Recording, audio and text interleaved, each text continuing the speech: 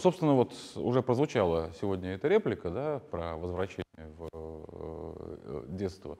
А, учитывая, что большая часть аудитории студенческая, э, это юность ваших родителей, да?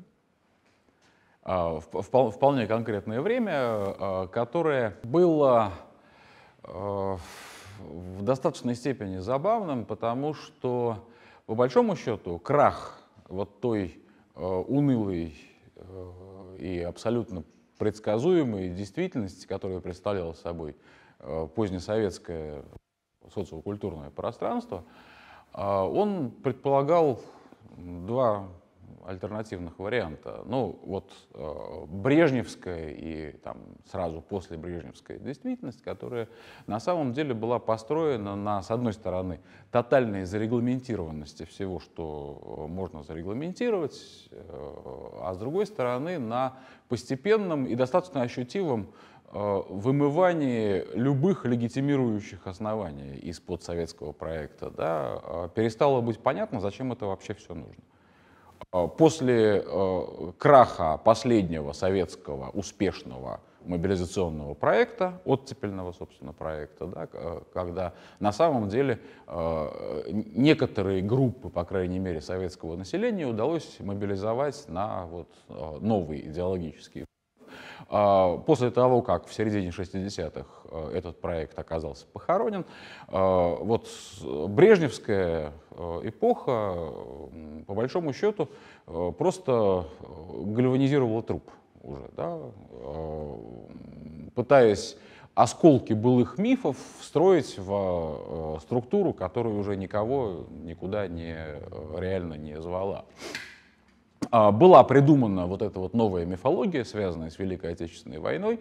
А, тоже понятно почему. А, мифология абсолютно оборонительная. Понятно, что она мессианская, понятно, что это некая богоизбранность России в любом случае. Да?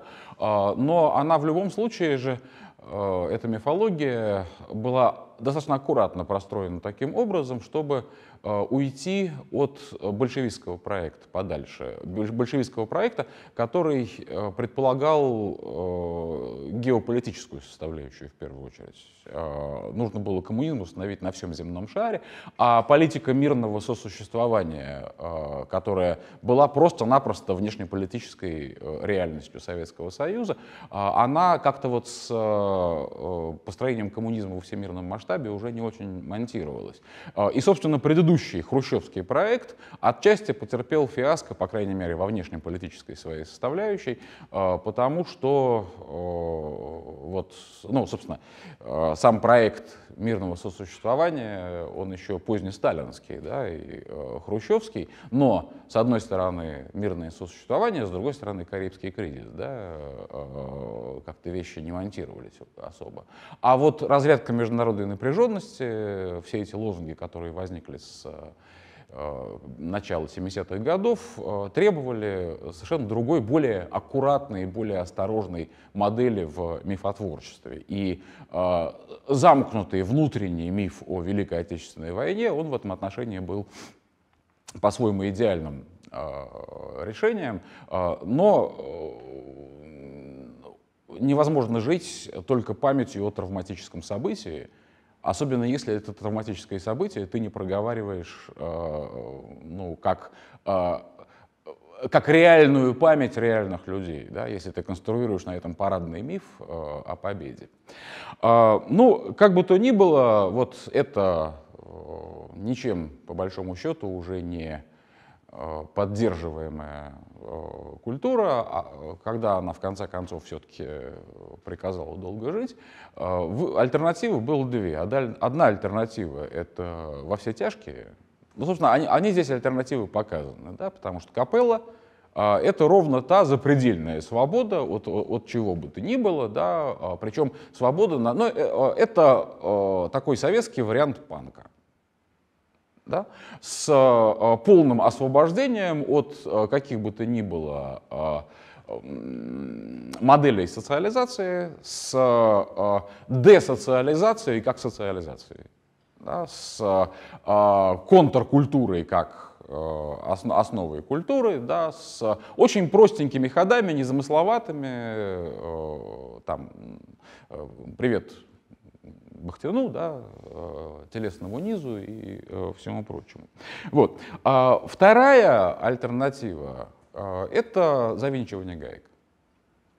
Это установление по-настоящему жесткого порядка с элитарной идеологией, которая позволила бы вот эту вялость, да, а, полный развал и распыление э, всего и вся в отечественной культуре каким-то образом преодолеть. И э, ну вот э, на этом столкновении, конечно, и выстраивается вся картина. А, мало того, она выстраивается в событиях, то есть с отсылом к реальным событиям. А, фильм года, в смысле он э, ближе к концу 90-го года вышел, а самое начало, начало января 90-го года, э, это событие, которое в, оно как-то так э, последнее время подзабылось, хотя в свое время было достаточно громким. Э, это разгром э, обществом память э, вечера памяти академика Сахарова. А, когда э, зал, в котором Э, собрала, собрались люди, которые хотели почтить память Сахарова, э, пришли люди в черных рубашках, э, и выкрикивая фашистские, антисемитские лозунги, кого-то избили, да, разгромили этот самый вечер. То есть была вот та самая вакханалия, которая была здесь в конце. А, я напомню, что общество память, да, э, национально-патриотическое, а, отдельная, очень большая тема. Я надеюсь когда-нибудь э, сделать э, там либо видеопоказ один, либо несколько видеопоказов, связанных с традиционалистским трендом в позднесоветском, в позднесоветском кино с альтернативой советской идеологии, коммунистической идеологии, радикально справа. Причем это радикально справа, оно имело очень мощные э, ресурсы в власти, в частности, э, ЦК Комсомола, ЦК ВЛКСМ, это была абсолютно такая вот фашизоидная э, среда, и журналы, которые поддерживала э, ЦК ВЛКСМ, это были, ну, собственно, «Молодая гвардия», да, и прочее, это были журналы традиционалистски ориентированные.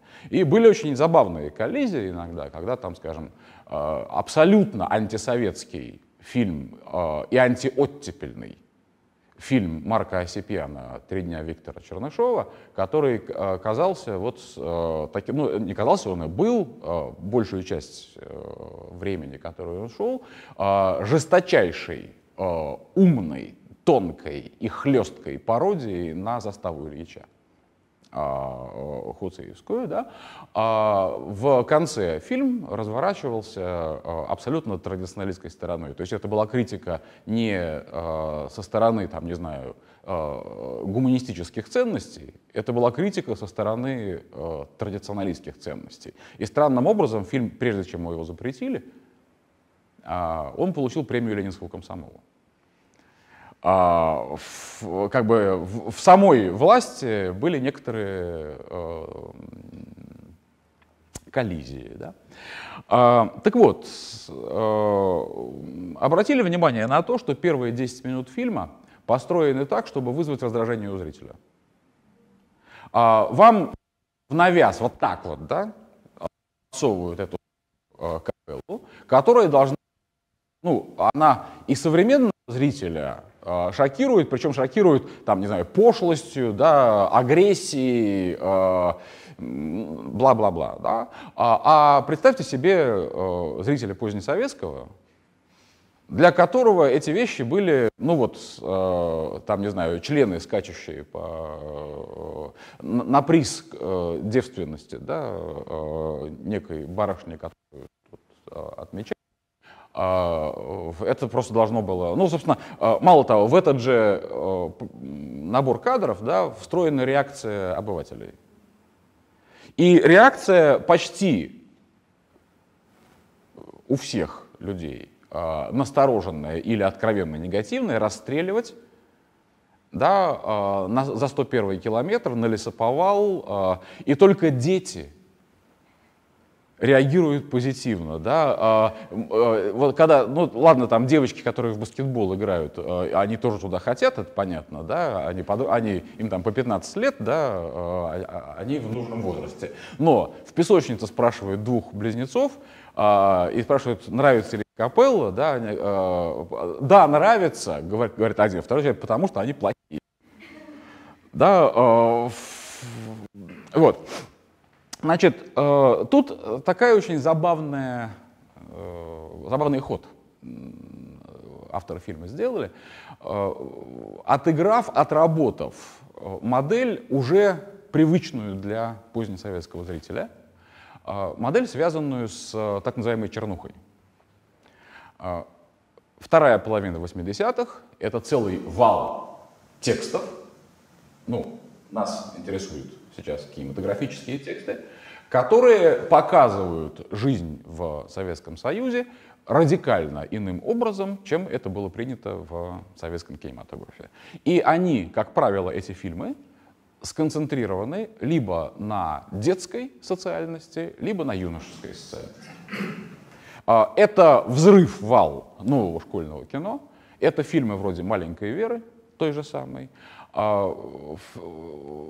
И а, это фильмы, которые, помимо того, что они вот, а, выдают на поверхность какие-то до этого запретные абсолютно темы, секс, агрессию, наркотики, да, и все, чего не, не было в Советском Союзе, да, ну, просто не было по определению. Да. Я, опять же, в студенческой составляющей аудитории, если не напомню, то открою большую Америку, э, одной из самых популярных фраз конца 80-х годов. В Советском Союзе секса нет. А, это было сказано в прямом эфире да, во время телемоста с э, американскими э, коллегами. А, понятно, что женщина имела в виду. Да? Она не имела в виду сам процесс размножения, да? но э, прозвучало гениально, конечно. Так вот, э, дело было не только в том, что язык, на котором говорило э, чернушное кино, был языком, педалирующим секс, агрессию, наркотики э, и прочее. Дело в том, что впервые там была очень мощная инновационная составляющая. Чернушное кино впервые привлекло внимание к альтернативной детской или подростковой или юношеской социальности. Каковой именно в качестве отдельной, самостоятельной, в Советском Союзе тоже не было. Советские дети, советские, советская молодежь, это были заготовки под взрослых людей. Это абсолютно просветительский проект. А, да? Ребенок — это маленький взрослый, который просто должен дорасти до соответствующего а, калибра а, и встроиться в процесс производства коммунизма. А, поэтому никакой другой социальности, никакой альтернативной социальности у ребенка просто быть не могло. А, это были все те же самые, ну, я напомню, да, что в детском кино или в школьном кино а, это очень удобная поляна, на которой проговариваются вполне взрослые проблемы, но только на кошках. Только на в той массе, на которой это не страшно, там, если мы критикуем пионерскую организацию, это можно. Но нельзя же критиковать обком, да? Это... Но, в принципе, все поняли намек, да? что когда мы критикуем начальство вот на уровне детей, мы немножко э, метим туда, но безопасно. А при этом зеркало полное, да? потому что никакой собственный, другой по другим законам устроенной социальности а, у детей не предполагалось. А, перестроечное кино открыло, ну, собственно, даже немножко предперестроечное, потому что началось все с чучела Быковского. Когда вдруг выяснилось, что наши дети живут по каким-то другим законам, чем, а, чем живем мы, и это вещи неприемлемые абсолютно. Мало того, эти законы, они Э, существуют всегда, они были всегда, они абсолютно естественны для детей, да, и они чудовищны. И это все непроницаемый абсолютно мир, из которого эти дети каким-то образом еще и выживают и становятся взрослыми. Да? А вот Чучело впервые рассказала об этом. И потом чернушное э, позднесоветское кино, оно именно на этой альтернативной социальности делает себе совершенно новый язык. Э, ну, потому что, э, ну, понятно, да, что этот новый язык, если он был построен на агрессии, на подавлении, на массе очень неприятных вещей, Э, говорил не о том, что э, вот началась другая жизнь, другая эпоха, и вот это все появилось откуда-то в советском человеке. Э, он говорил о том, что раньше просто не было языка описания. Советское общество всегда было крайне конфликтным и очень агрессивным.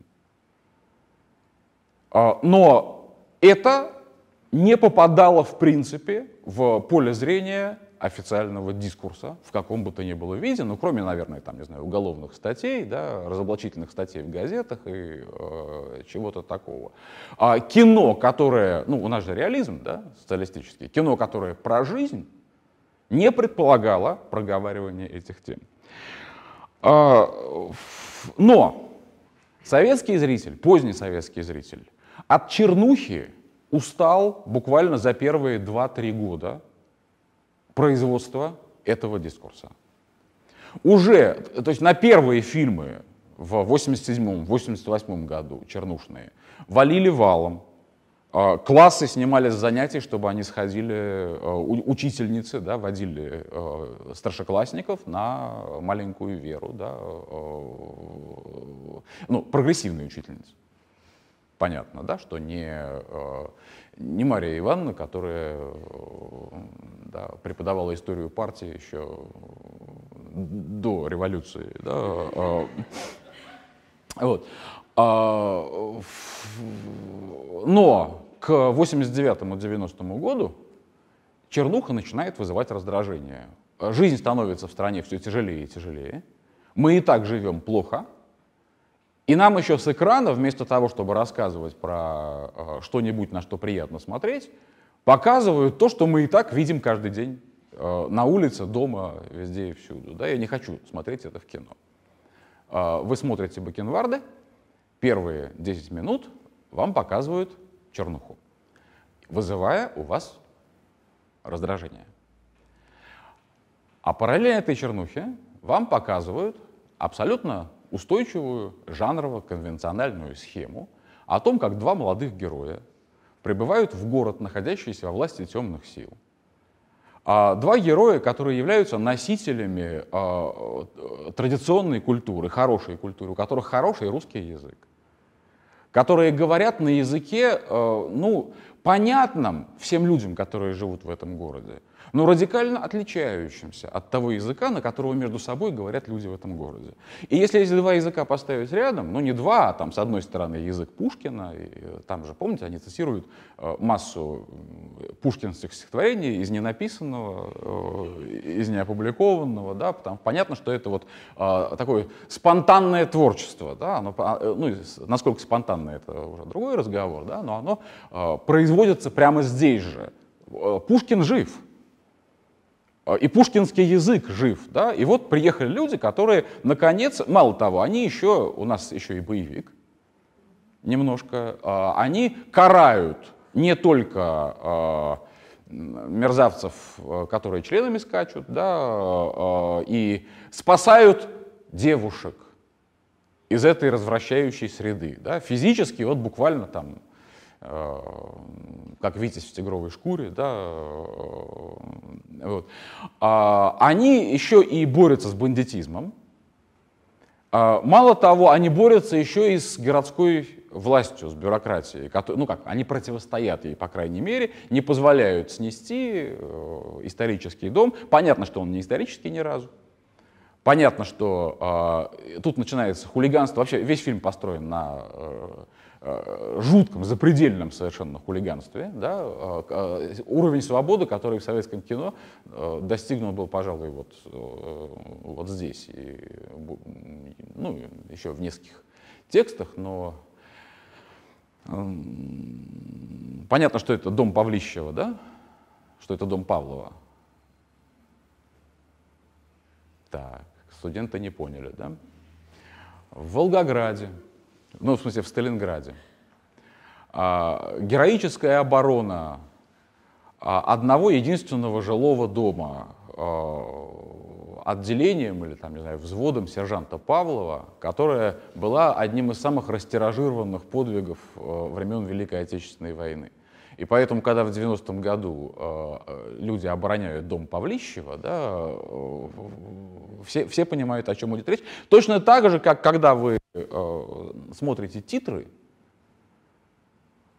вы слышите там оркестровую, абсолютно пафосную музыку, которая, в общем-то, бублички.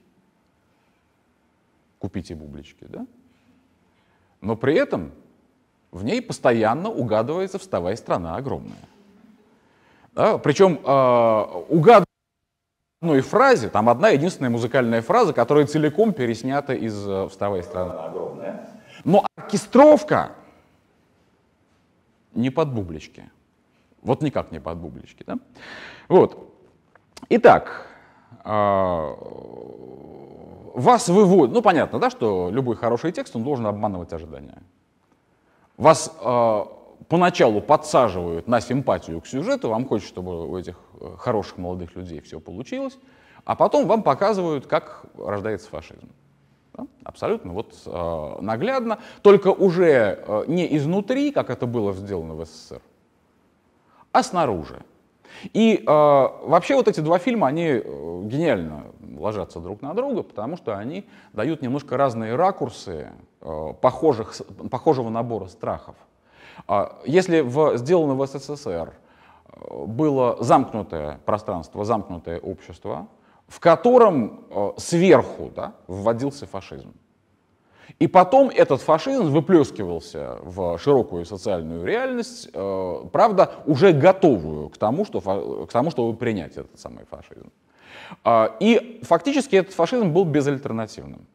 Потому что никакого вменяемого ответа, кроме вялых интеллигентских всхлипываний о том, что так нельзя, да, э, или вот этого самого финального, финальной реплики, а давай свалим отсюда вообще куда-нибудь, да, э, не было. Здесь э, достаточно диверсифицированное общество, которое очень по-разному воспринимает этот эксперимент. Здесь вообще есть общество просто, которое протестует, которое получает по морде, да, э, которое выдвигает альтернативные модели, появляются мцири, Например, да, кто здесь главный мцирь, э, едва ли не самая гениальная э, фраза в этом фильме, как на мой вкус. То, что здесь любопытно, это то, что Э, фильм показывает опасность, исходящую не только от государственного э, желания навести тоталитарный порядок, но от тоталитарности низовой. От тоталитарности, которая строится на э, сакрализации абсолютно стайных моделей поведения и абсолютно стайных комплексов идеологических, для которых питательным сырьем может послужить что угодно – вот Пушкин. А Пушкин, понятно почему, да, потому что, ну, кроме того, что это наше все, есть абсолютно устойчивая э, приговорочка в русском языке. Кто будет это делать? Ну, если больше некому, да, то э, вот э, Пушкин это и будет делать. А, причем, э, вот вещь, которая показана, это один из страхов системных в конце советской власти, э, вещь, которая показана в конце, то, что власть вот какая она не есть, проворовавшаяся, коррумпированная, нелепая, бессильная, тупая и прочее, она состоит из профессионалов. Профессионалов, которые всегда готовы использовать э, вот это поднимающееся снизу для укрепления собственного режима. Потому что понятно, да. Причем, если помните, вот тот самый персонаж, который Херц, а, Херц — это цитата из э, толстовского Петра I, там Меньшиков обращается Минхерц к Петру Первому, ну вот он, собственно, вот он, да. Это, это не я повесил, он здесь да, да, давно здесь висит, да. Ну, он, он тоже сваливает, да, там, Таня, как ты относишься к Америке, только он в Прибалтику сваливает, потому что там как-то можно будет выжить, а потому что а, эти суки подментованные.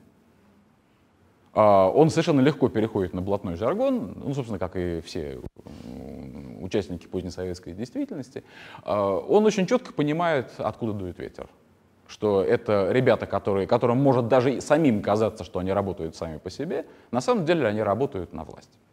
То, что сигналы расставленные по этому самому фильму. А, начну с, наверное, самой шикарной детали. Помните чечеточника, который отбивает э, Ах Александр Сергеевич, да? Чечеточник очень похожий на артиста Бена Уайлдера. Невероятно похожий на артиста Бена Уайлдера. Ну давай расскажи мне. Да, а, тот самый мем. Значит, в чем прикол? Сочетание Бен Уайлдер и Чечетка, вот Бен Уайлдер, бьющий степ, дает один единственный ответ. Это фильм 1974 года, который называется «Молодой Франкенштейн». Так, па-па-бам, да, э, ф, она, она зашитая абсолютно, эта отсылка, да, но, но, но она есть. А, ну, много отсылок на Пушкина. Ну, понятно, да, а, тема сама по себе, ну, там, скажем, а, стезию правды бодро следует, да. А помните, там такой совершенно конфетный Пушкин, детской рукой нарисованный на плакате на, на стене, да, это пушкинский как бы Коран, да, э, кусочки из Корана, ну не, не кусочки из Корана непосредственно, но следующая строка за этим «Люби сирот и мой Коран, дрожащие твари проповедуй». Это то, что остается за кадром. Да? А, значит, э, я прочитаю несколько э, кусочков из Пушкин блюза, Потому что понятно, что вы слов не разобрали. Да? В процессе, в хоровом исполнении, причем перебивающемся по ритму и прочее, это непросто. Он рос под сенью заботливых мус, а мы прозябали в развале, его называли в лицее француз, а нас называли подонок и трус, кабан и козел, недоносок и гнус, еще и не так называли. А, мы тоже балдели и пили вино, но он стал Пушкин. А, а, в озвучке они поют «А мы никто», в исходнике «А мы говно». Напрасно морты разевали. Значит, Ах, Александр Сергеевич, Александр Сергеевич, ты русскую простую, простую дал в уста нам речь, твоим глаголом будем сердце людям жечь, и память станем о тебе свою беречь. А если кто не хочет, будем тростью сечь, и бакенбарды отрастить заставим. Ах, Александр Сергеевич, Александр Сергеевич. А, сегодня ты снова родился на свет для новой, для истинной славы, ты должен во имя великих побед. Дальше, я думаю, можно просто вот писать э, сейчас слоганы, да, помочь нам, Отечеству, давшим обед, избавить Россию от внутренних бед, спасти от заморской отравы. А, вот. Еще несколько отсылок к еще не состоявшемуся будущему. А, этот комсомольский лидер, э, бодрый мальчик в отечках, да, который бывший одноклассник, который главный э, такой министр-распорядитель теневой да, всего этого э, контакта между властью и фашистами, а, который говорит о том, что вот тут у нас митинг, на этом митинге есть люди, которых нужно изолировать, чтобы сдержать любые проявления экстремизма. Да, 90-й год, я напоминаю. А, значит, э, да, обратили, наверное, внимание еще на масонский контекст. Они сами организуют масонское общество с посвящением, с э, явлением духа предка, э, со своей мифологией уже, да, с сакрализацией, символизацией инструментов. Помните, там угольник, отвес, да, все такое прочее. Здесь трость, легкая и прямая, как путь к Богу а, все это проговаривается, да. Вот, а, да, еще там пара вещей буквально под конец. А, тот же самый Херц проговаривает, что у этого пуделя замашки дядюшки Джо. А дядюшка Джо в международном сленге середины 20 века это Сталин. Э, поскольку он Джозеф, да, по, э, по-английски. Вот. И еще одна отсылка, тоже достаточно очевидная, если помните, тренировку перед домом Павлищева э, в, с голыми торсами в перчатках и в котелках. Перчатки, трости, котелок, дают очевидную отсылку к заводному апельсину Кубрика. Да? А, а, то есть здесь это а, тоже вещь. Все эти фильмы уже сняты, все эти фильмы уже просмотрены в видеосалонах, да, поэтому кто опознал, опознал, кто не опознал, не опознал. Ну ладно, значит, я какие-то вещи такие базовые вбросил, да, слово вам. Вообще вот фильм смотреть в 2020, в 2021 году как-то даже немножко не весело, потому что вот все то, что проговаривается как бы с юмором, оно в какой-то степени так или иначе проговаривается с националистами, которые сейчас есть. Да. Вот. Поэтому это уже даже очень чаще.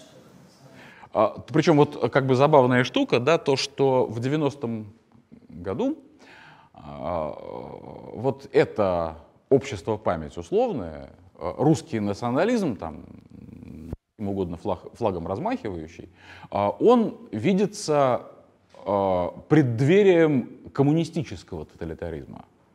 Потому что следующая станция Маяковский. А, заканчивается все левый, левый, левый. Да? И в стране советской есть. Ну, как выяснилось, стадия не обязательная. Так что согласен.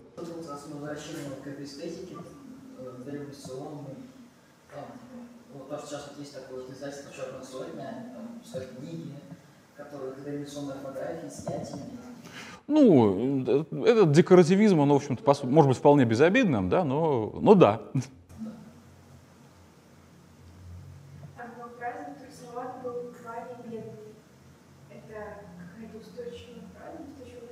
Нет, это э, цитата из э, песен западных славян пушкинских. «Трусоват был Ваня бедный, раз он позднюю порой, весь в поту от страха бледный, через кладбище шел домой». Э, «Вурдалак». Стихотворение называется «Вурдалак» из э, цикла песен западных славян. А вот когда они поют на заднем плане, э, я так понимаю, без Пушкина почему-то он лысый. И вообще на себя не похож. Нет, там Ленин. Ленин, да. Но тут же идет постоянное... А, когда поют Пушкин блюз, там Пушкин, конечно, да, а, там, но там э, бюст, насколько я помню, снят из посмертной маски, а в посмертной маске э, волосы убраны. Поэтому он производит впечатление лысого. Но я думаю, что отсылка вполне может быть значимой, потому что, помните, они постоянно меняются. Ленин, Пушкин, Ленин, Пушкин, Ленин, Пушкин, да? И с ключевым эпизодом, когда из бюста, из кулича да, а, легко лепится, да, вот, а, буквально ты, на самом деле, приклеиваешь бакенбарды, и получается Пушкин, причем очень бойцовый Пушкин такой, да, а, как и положено. Так, да, Свет. Что в этом фильме, что в предыдущем? Какой-то жуткий пессимизм, и когда ты уже сидишь и смотришь, то руки опускаются, и ничего не хочется не делать, ну, никакой надежды не остается. А может, это тоже часть пропаганды? Современное кино дает нам оптимизм. Да, это гораздо лучше, да. вот. Нет, мало того, а, я хочу вас утешить, Свет, да, потому что после этих фильмов мы прожили 30 лет, да, а, каким-то образом, иногда неплохо. Эм, мы выживем. Да. Я не очень понимаю, герою Сухорукова больше важно свое пунцовое эго или ему больше важно быть идейным? Потому, ну, в смысле, вот быть частью. Потому что вначале, когда он с этой семьей своего друга uh-huh. разговаривает, что вот это вот, это, вот, uh-huh, uh-huh. вот это все. Как же одно лицо такое, раз в 150 лет, все дела. Uh-huh. То есть вроде как он чувствует себя, ну, как бы, воплощением пророка, грубо говоря. Uh-huh. А, а с другой стороны, больше вроде как он не делает на этом акцент нигде в фильме, может быть, я просмотрела. А, и, ну, когда с него с, состригаются бакенбарды, это все, ну, то есть прям трагедия, трагедия. То есть мне кажется, что бакенбарды это больше как раз про общее и про идейное. И я не понимаю, типа, где, где для него важнее. Ну, я не думаю, что это, что это вещи, которые имеет смысл э, э, разграничивать резко э, между собой, да, потому что он очень себя бережет. Но помните этот замечательный доспех из блесен? набранные, да, а, чешуйчатую рубашку, по- потому что были покушения, он, он принадлежит не себе, он принадлежит России э, и прочее. Вот. А то, что он в какой-то момент э, начинает принимать невыгодные для себя решения, а, Ну, просто власть, она, знаете, немножко сворачивает крышу, да, э, и э, он, нас- э, то есть тогда, когда он говорит, что это мы вас сковырнем, да, не, не стойте у нас на дороге, а, в общем-то, э, видимо, по логике фильма, он уже вполне верит в то, что он в состоянии э, взять власть, как Ленин в 17 году, да, э, и тогда бюст можно будет как-то немножко от Ленина через Пушкина, да, э, ведь, по- ведь правда ведь похож, да? Особенно на посмертную маску. А непонятно, почему в этом уверен, когда он говорит это после того, как он видит толпу, которая явно против его партии или не партии, Мгм. его движения. Почему? А толпа это не те, кто должен ему приказывать. Это абсолютно иерархический, тоталитарный э, тип лидера, э, для которого есть быдло, дрожащие твари проповедуй. Э, Более того, толпа, которая выступает против, это прекрасный совершенно способ доказать, показать э, собственную действенность в наведении порядка. Э, Это не демократический лидер, да, ни разу. Там ложки с э, символикой соответствующей. И вот там, мне кажется, одна тарелочка или ложка была на красном фоне, такие профили, как фрески соцарта. А, вот именно не соцреализма, а соцарта. Ну да, ну да. Но ведь соцарт — это же ну, наш ответ да, соцреализму. Получается, они сами над собой иронизируют, что ли? А, Я думаю, что создатели фильма иронизируют над... э, э, То есть они поднялись до высот самопародии, да, эти люди, которые... Ну, понятно, что весь эпизод пародийный.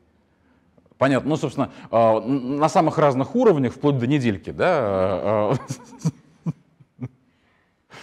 Разве этот Виктор не просто сумасшедший действительно? Просто когда первый раз его показали, я узнала знакомую девочку. То думала, «О, В бакенбардах».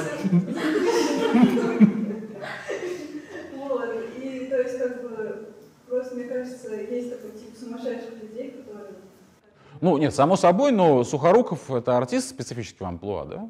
Э, Он на этой роли просто, вот, э, наверное, родился, да? Ну, должен, вот, хотя ему тут уже хорошо за 30. А вы так не видите вообще. Ну да.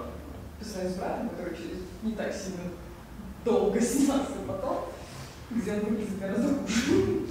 Я могу представлять, как смешно фильм смотреть, когда половина утра сама ты говоришь жизнь. Да, я понимаю. Ваш случай уникальный, да? Я сидела и думала, какие хорошие, вот как мне их нужно, прям такие же мужчины. И тут вас так обломали жестоко. Еще вопрос, а почему у них вот в этой а, группе, которая сначала против какого борется и которая не передела первыми, а почему только одна девушка? Ну, потому что они били. Тогда почему она есть? А, ну, как бы...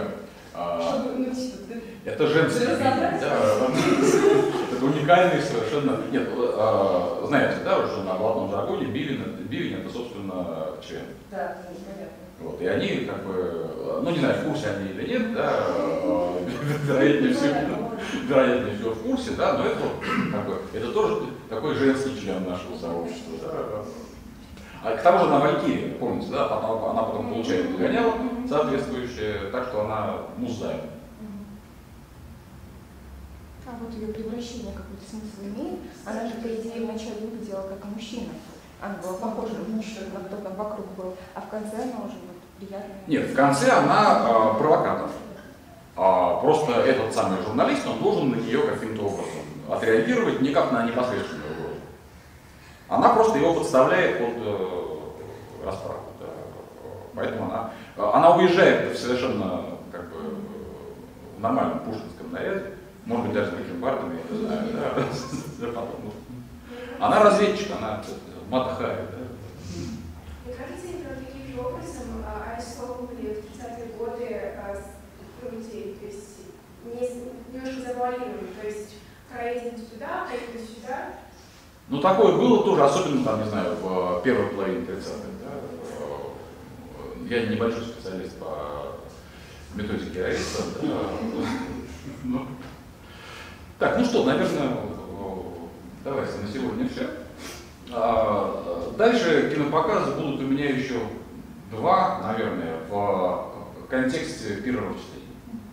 Это будет уже там 20, а, 24, 24 25 июня. Да. Вот. Спасибо.